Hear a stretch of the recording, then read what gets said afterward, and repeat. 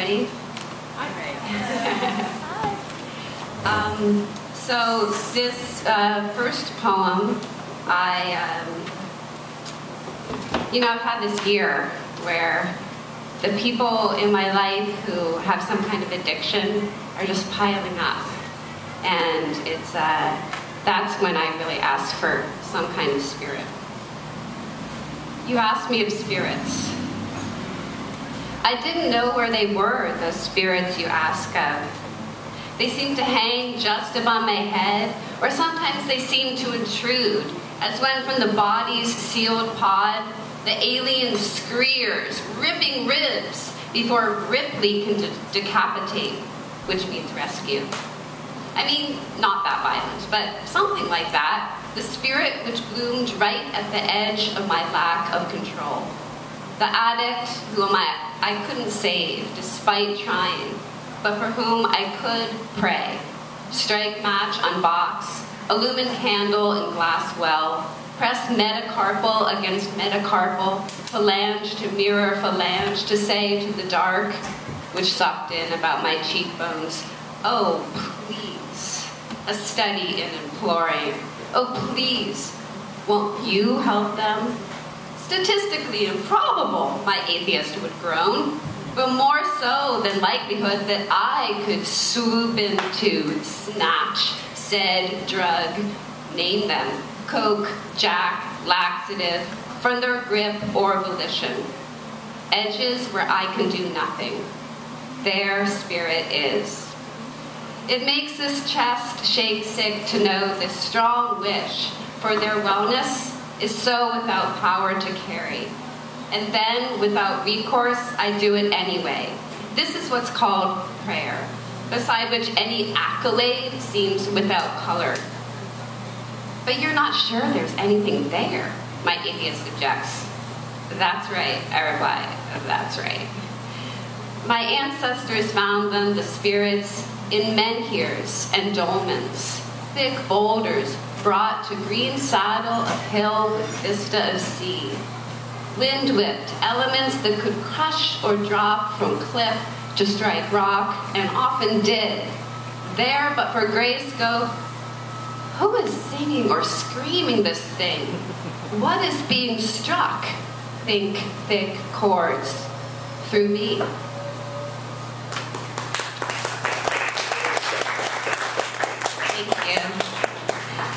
So this here is a little um, ribbon. Uh, it's Brazilian, and it says Senhor do Bonfim. He's this guy who used to be an Afro-Brazilian uh, god called an Orisha. He was the father of the gods.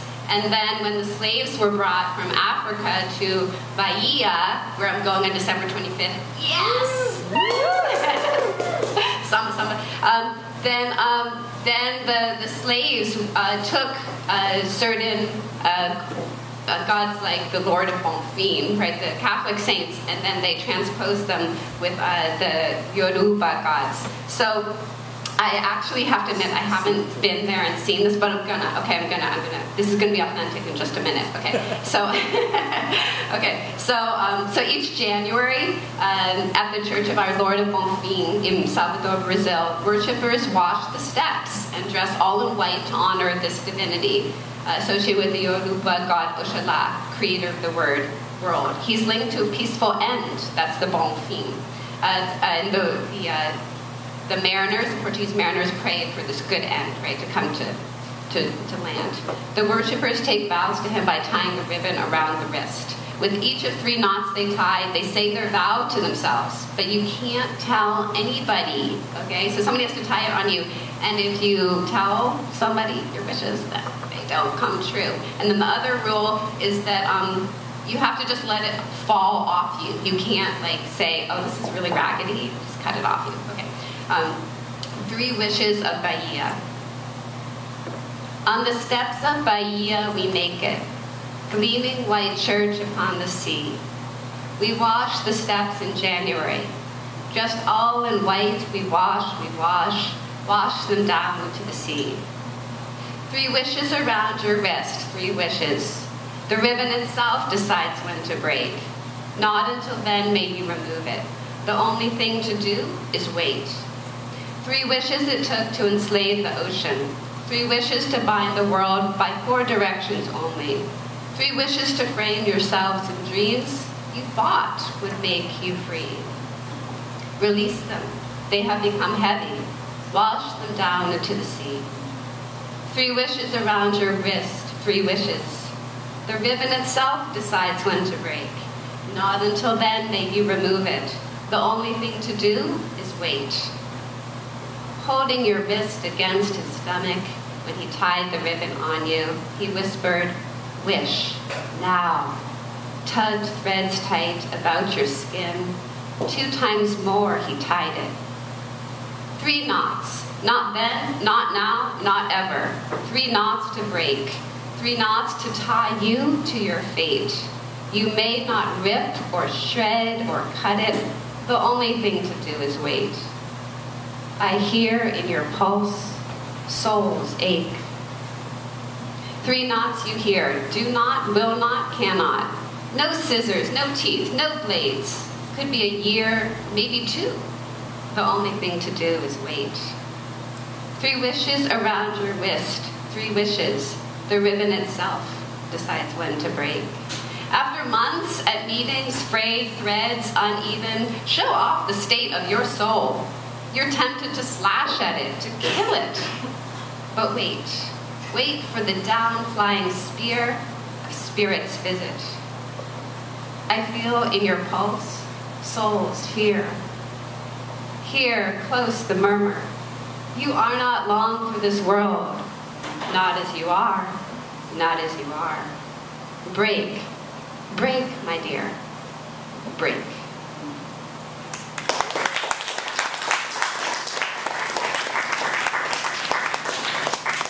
Okay, you guys get to choose. Either there's a big cosmic meeting with an astral projection out in the galactic universe, or there's kind of a calm little desert uh, ancestral thing happening.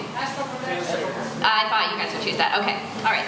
So this one is called Cosmotron, Meeting with the Interbeing. And it's based on, I'm not really into astral projection. Please don't, don't categorize me. Don't look at me that way, okay? but I saw this painting down at Blackball Universe Records, which is awesome, uh, in Jack London Square with the awesome Xavier Dphrepaulezz.